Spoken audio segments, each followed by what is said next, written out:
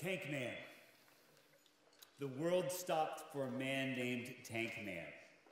Now, some of you guys don't know who Tank Man was. We don't know if Tank Man still is alive, and he's not a superhero by any stretch of the imagination. But in 1989, on June 5th, one man stopped the entire world, and this is Tank Man. The context for Tank Man was uh, Tiananmen Square, where a bunch of college students demanding reform in China gathered together, and they filled the entire square, uh, shoulder to shoulder with young men and women demanding change. Now, the Chinese army was known for its brutality, and the government called them in to clear the square by any means necessary.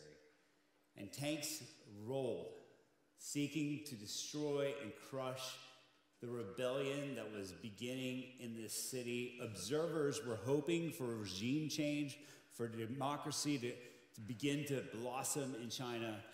But now it looked like everything was going to be taken away from the people who are demanding change, including their lives. And one man stood up and refused to go away. And so the picture you see there, if you want to put it back up, is a man who says, I will not allow this violence to happen. And so he stands in front of a tank and is willing to lay his life down for the people who are in that square. And it takes incredible courage. Those tanks ended up stopping, and he climbed up on top of the tank and called for peace. And it's incredible to see what one person's courage can do, how the courageous voice, the courageous calling out, the courageous action uh, can change an entire person's narrative and their story. And so we're going to be looking at a man who's a lot like Tank Man in the Bible. His name is Bartimaeus. He's a man who stopped Jesus in his tracks. Have you ever wondered what it takes to stop Jesus from doing something? If Jesus wants to do something, he's going to do it. And yet, Bartimaeus stopped him on his journey to the cross and called out to Jesus, and Jesus responded. So, would you guys turn with me to Mark chapter 10? We're going to read starting in verse 46, and we're going to just read this story, and we're just going to let the weight of it press in on us. Because my desire for us as we look at this text is that we would see a picture of our own journey with Jesus and how Jesus wants us to be someone who will call out to him when we need something. So it says this in verse 46 it says, They came to Jericho. And as he was leaving Jericho, which is Jesus, as Jesus leaving Jericho with his disciples and a large crowd, Bartimaeus, the son of Timaeus, a blind beggar, was sitting by the road. And when he heard that it was Jesus of Nazareth, he began to cry out, Jesus, son of David, have mercy on me. Many warned him to keep quiet, but he was crying out all the more, Have mercy on me, son of David. Jesus stopped and said, Call him. So they called the blind man and said to him, Have courage, get up, he's calling for you. He threw off his coat, jumped up, and came to Jesus. Then Jesus answered him, What do you want me to do for you? Rabboni. The man, the blind man said to him, I want to see. And Jesus said to him, Go, your faith has saved you. Immediately he could see and began to follow Jesus on the road. This story is so inspiring because here's a man who has nothing, who's a beggar, who's an outsider, who has no status or power, has the ability to call the Son of God to his cause. And he cries out to Jesus. And here we find incredible courage displayed. And it seems to me, when you look at this story, you find him displaying courage in three critical ways that are helpful for us in our own walk with Jesus. You know, sometimes when we think about how to follow Jesus, we are left without knowing how to do it, how to really engage with Jesus. I think this story tonight will help us have some ways or some handles on engaging Jesus in very real ways and in ways that are near and dear to our heart, that aren't just religious ways of like saying the right things or having the right answers, but being people who engage with Jesus in a real way. And those three ways that this man does it is that he has the courage to call out, the courage to come to Jesus, and the courage to ask. So we're going to walk through each one of these really briefly tonight. The verse is that Bartimaeus has the courage to call out. And we see that in verse 47. Look there with me in the text. It says this about Bartimaeus When he heard that it was Jesus of Nazareth, he began to cry out, Jesus, son of David, have mercy on me.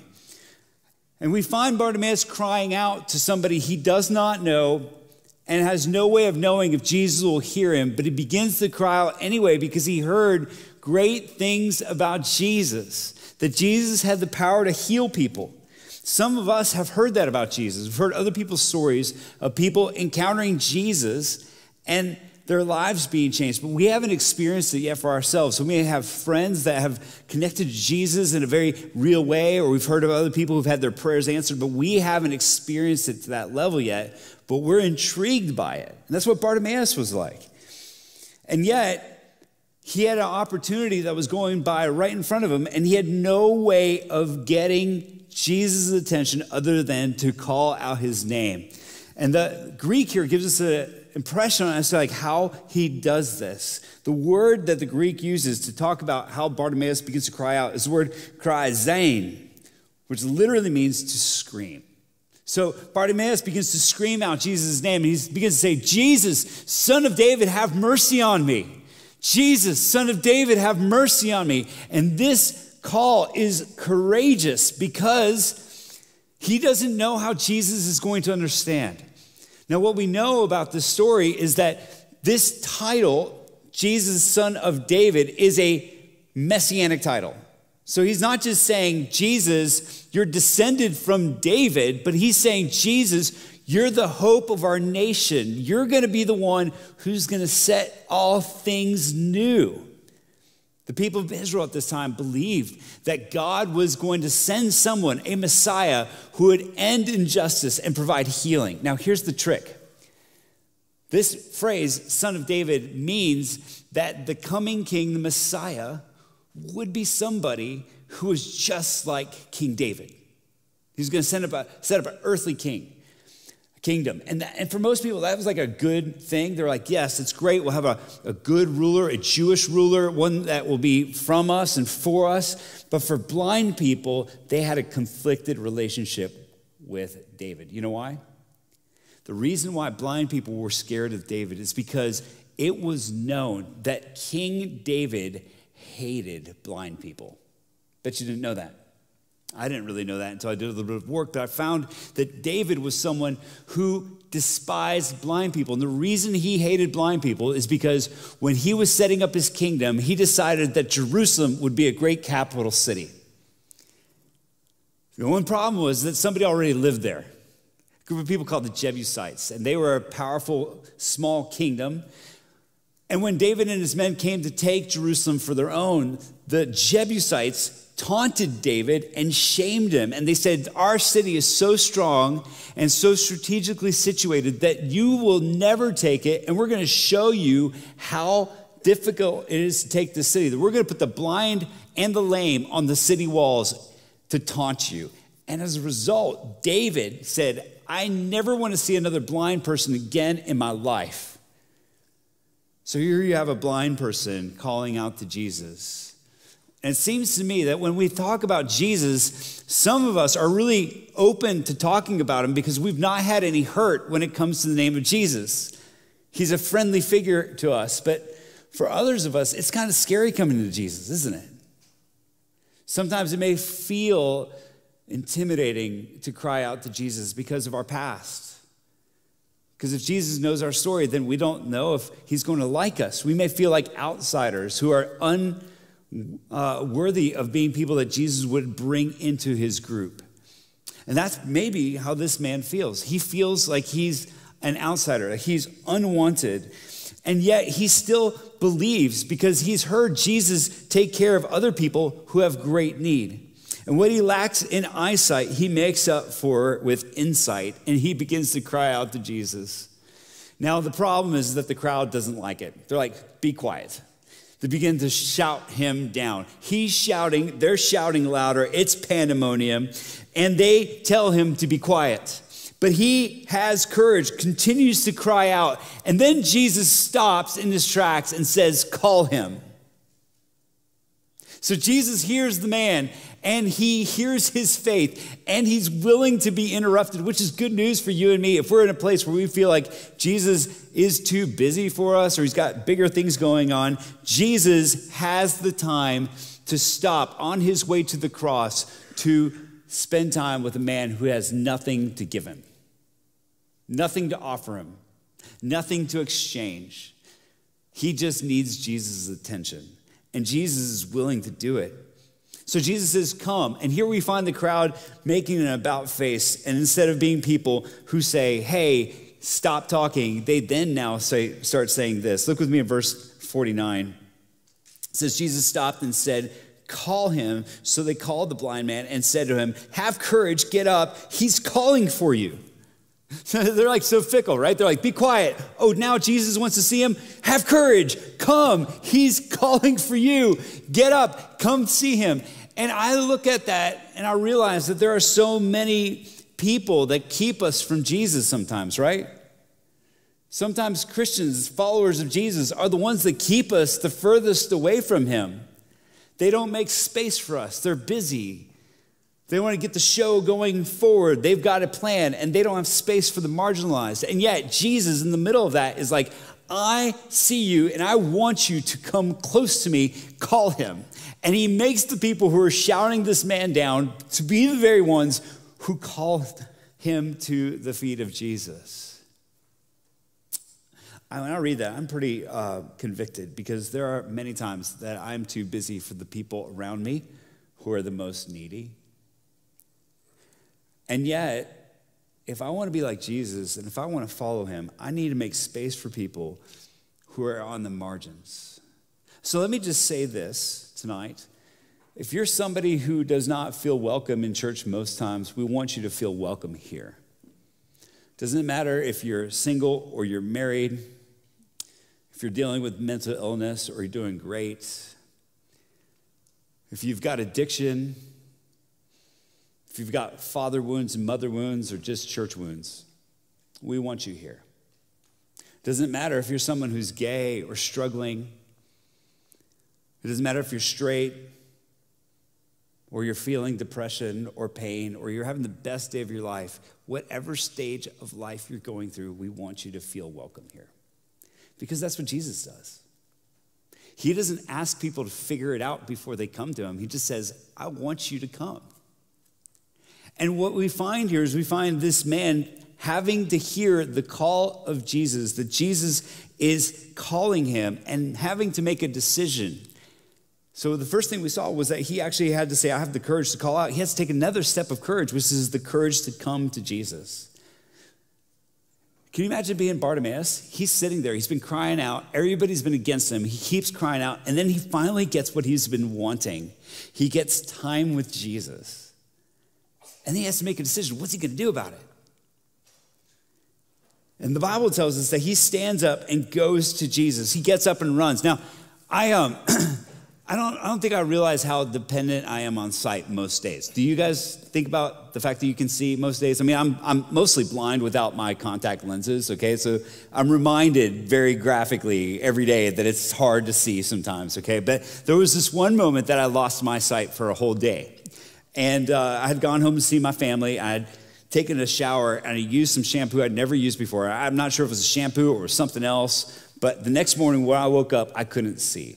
Now, my eyes, like my retinas and those things still worked, but my eyes were swollen shut. It was the weirdest thing that I'd ever experienced. Has anybody ever had this happen to them? A couple people? Okay, it is terrifying to wake up and you're like, I can't open my eyes. Where am I going? And I kind of stayed in bed for a while, just hoping it was a bad dream, but then it didn't, didn't like resolve. And I realized I still couldn't see. And I spent the most part of that day trying to feel my way around the house and this man has lived his entire life being careful where he went, watching out for obstacles that he couldn't see. And yet, when he hears Jesus' voice, the first thing he does is like, man, I want to go. I want to go to him. And he gets up and he goes to Jesus. And then Jesus does something that's really uh, interesting. Jesus asks him a question. Look at the verse with me, Mark 10, verse 51. Jesus says this says, Then Jesus answered him, What do you want me to do for you? There's the third kind of courage this man has to take. A step he has to take is to actually ask Jesus for something. Now, I think when I read this, sometimes I think, like, wow, you know, Jesus, that's a little like cruel. You know, he's blind. um, isn't it obvious what he needs? But Jesus treats this man with dignity. His entire life, he's been a beggar, but Jesus does not make him beg. And Jesus treats him like an equal and says, What do you want? What do you need? You know, Nashville's filled with people asking us for help. How often do we just treat them like they're invisible? We don't treat them with dignity. We see homeless people around us and we just kind of move past or we look away at traffic. You've been there, right? You're like looking, you're like, I, I, if I don't make eye contact, I don't actually have to like talk to them or look at them. And all of us have been in places where we see those around us who have great need, but we don't engage with them. But Jesus doesn't make him beg. Instead, he asks him what he wants. And here we find something that's incredible because what this man does is he says what he wants without condition or caveat. Look what he says. Verse 51 says, Rabboni, the blind man said to him, I want to see. Now, this phrase Rabboni is a special term. The NIV translates this as rabbi, but it has a deeper meaning because you would not call someone in common conversation or you wouldn't call your teacher Rabboni. That was a term that you would only use when you were praying to God. So, this is both a prayer and a request. He's recognizing that Jesus is not just a good teacher, he's recognizing that Jesus is God. And then he says, I want to see. And the reason I'm highlighting this is because when we pray, a lot of times we try to give God an out if he doesn't want to answer it. You guys ever do that? Like when you're praying for something you really want or for healing. I do this. I'll go, God, if it's in your will. I'll be like, God, cure this cancer. This friend of mine is like dying. And I don't mean to make this, you know, a joke, but it's true. I'll be like, pray for healing right now, if you will it, right? Because we're scared that God is going to say, you know what, I just don't want to right now, or I can't. Or we're afraid that God's going to be um, embarrassed. But God can do whatever He wants. It's our decision in the matter, and it's not up to us to make God look good. God is fully secure in who He is. He doesn't need us to hype Him up or prop Him up. He knows what He's doing. And if He's not uh, going to provide healing, it's because He has a better plan. And this man doesn't say, Jesus, could you make me see? But only if you have time and only if you have power and only if like it's gonna be cool. He simply says, God, I just want to see. Sounds a lot like the way my kids talk to me. Like my kids don't caveat things. They just go, Daddy, can I have candy? Over and over and over again. I say, no. They're like, Daddy, can I have candy? Can I watch TV? Like they just ask boldly with confidence because they know my heart as a dad is ultimately for them. And even if I say no, it's because I know that there's good reason for it. And this man just says, I want to see. And Jesus heals him. And we see a stunning transformation happen where the man who is by the side of the road gets onto the road, leaves the status of being an outsider to being a disciple, and follows after Jesus. And he follows him the rest of his days. I find that it's fascinating that the first thing he does is he decides to follow Jesus because his life has been changed so drastically. I don't know about you. If I got the chance to see for the first time, I'd be like, I want to go see my family, see what they actually look like. Okay? Then I'm going to go watch some movies and maybe go look at uh, some beautiful things. But the first thing that he does is he says, I just want to know Jesus and I want to follow him because my life has been radically wrecked by the goodness of the gospel. And so tonight, as we are talking about this idea of asking Jesus for what we want, I think it's important that we are honest about what we want and we ask for it with urgency. You know, uh, a couple years ago, by a couple, I mean a long time ago. I was, uh, uh, was given the opportunity to go uh, take a trip of a lifetime, and my family, uh, my entire family, my parents, uh, my mom and dad, my brother and my sister, and then some other, other of our friends, we went to the Amazon River. Now, I grew up in South America, but where I grew up, it was hot all the It wasn't hot. I mean, it was cold all the time. And people kept on thinking we lived in the jungle. So we said, we should at least sometime while we're living here try to actually go to the jungle. So we went to the Amazon jungle and we uh, took a week of going out onto the river and having excursions. And one day, our guide, Watachi, said, You know what would be really cool? If you guys wanted to do this, I mean, it's kind of like a little bit more risky, but if you guys are, are brave enough, it'd be really cool to teach you guys how to catch alligators in the Amazon. And I was like, Oh, yeah, because I always want to be like Steve Irwin. If you guys know this guy, the crocodile hunter. I was envisioning this. It's like, this sounds incredible. I think my mom was like, no.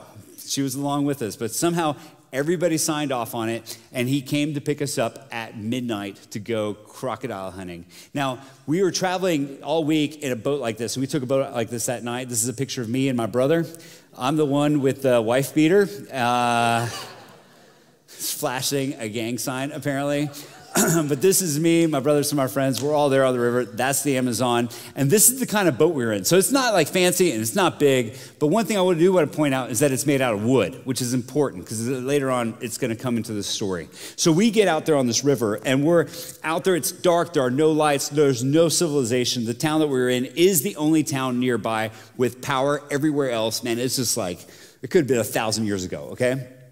Out there on the river looking for crocodiles because we're idiots. So we're out there looking, and the way that you're supposed to catch a crocodile on the Amazon is kind of like spotlighting deer here in America. Apparently, you're supposed to like hit them with the spotlight and then grab them, which sounds horrifying, right? Uh, but we were trying to do that, and instead, it started raining. Um, now, if you ever get a chance to go to the Amazon, uh, one of the things you're going to find is that it rains there different than it rains here because when it rains there, you can't breathe. It just comes down like you not believe. And it rained like that, and it filled our boat with water and it flooded everything, including our engine.